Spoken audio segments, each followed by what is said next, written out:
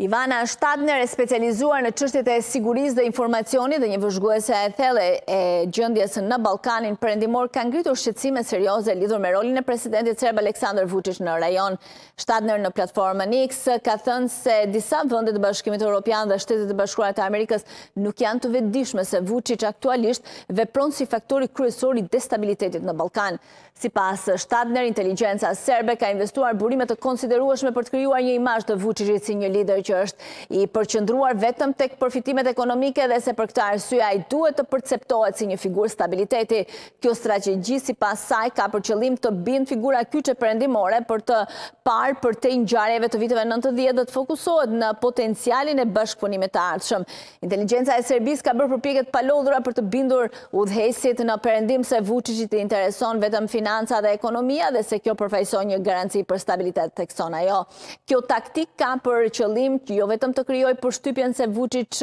është i moderuar, por dhe të dobësojë opozitën pro-perëndimore dhe të